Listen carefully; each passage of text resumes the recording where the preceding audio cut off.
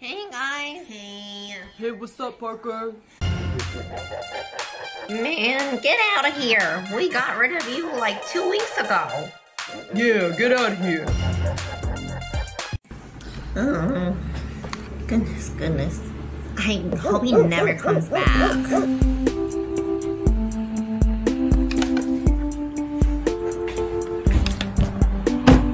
Hey! Greg, you leave your dog alone? Leave him alone. Come here, puppy. Come here.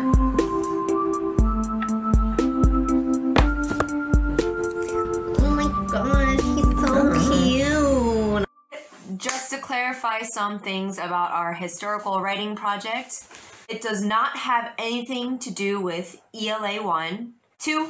You can write about anything in your story as long as it seems possible it could actually happen in the past. It must relate somehow to your interview and research that you did. All right, that's all. See you in our Zoom meeting later.